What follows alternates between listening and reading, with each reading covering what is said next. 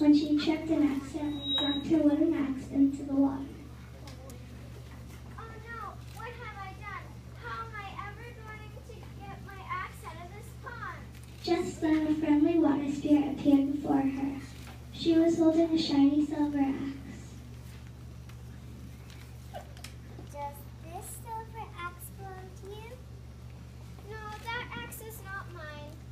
The friendly water spirit returned with another axe. This time it was beautiful golden axe.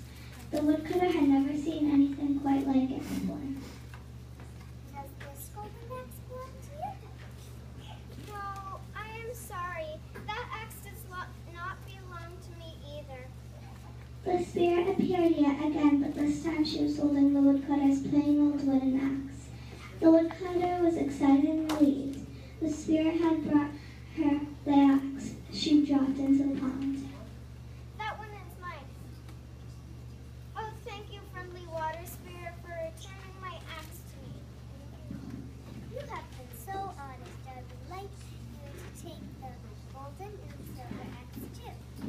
The woodcutter thanked the water spirit again for her kindness and happily headed home with her axes made of gold and silver. On her journey, she came across a rich merchant and told him the story of the pond, her axe, and the friendly water spirit.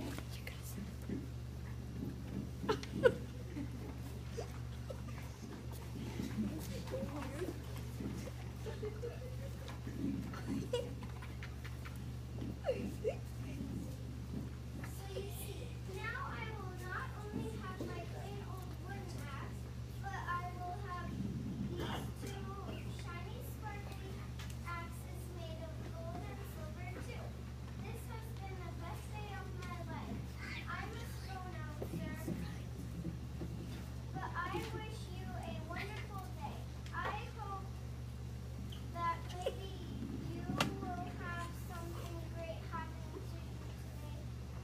Like me. Goodbye. I must go to this pond and drop my wooden axe in. I want to have more gold and silver than anyone else in this whole village.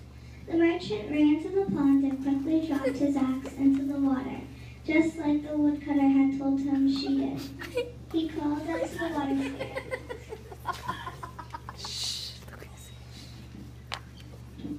Oh no, what have I done? How am I ever going to get my axe out of this pond? Sure, the friendly water spirit appeared with a shiny silver axe, but before she could say anything, the mer- merchant pointed and yelled,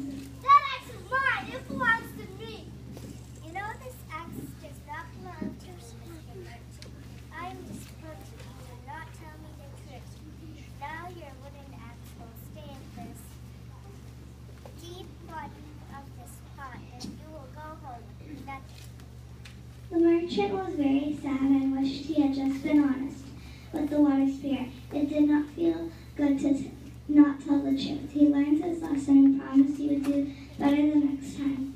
So the moral of the story is